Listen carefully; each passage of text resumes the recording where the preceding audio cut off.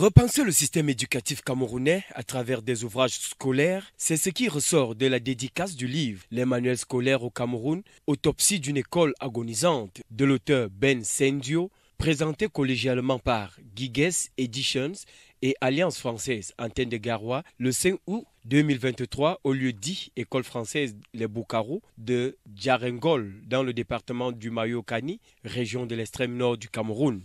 J'ai voulu, dans cet ouvrage-là, ou dans cet essai, euh, démontrer comment un livre ou manuel scolaire est inscrit au programme au Cameroun.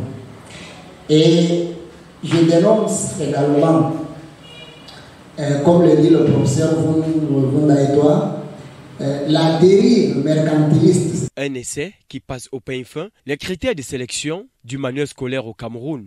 Un livre qui propose quelques pistes de solutions pour des ouvrages engagés au programme traitant des valeurs citoyennes, civiques et traditionnelles. Beaucoup d'éditeurs sont en réalité des imprimeurs. Ils sont là pour faire euh, du profit financier.